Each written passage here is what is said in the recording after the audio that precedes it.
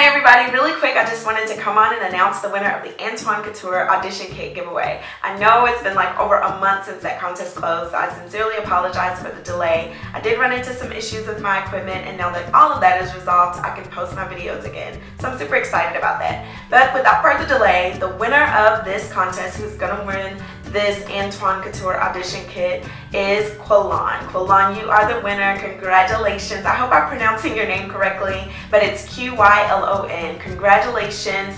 I'll be sending you some instructions here on YouTube. I'll send you a private message on what you need to do to redeem your prize. Thank you all for participating in the contest and make sure you stay tuned for future giveaways. Thanks everybody. Bye.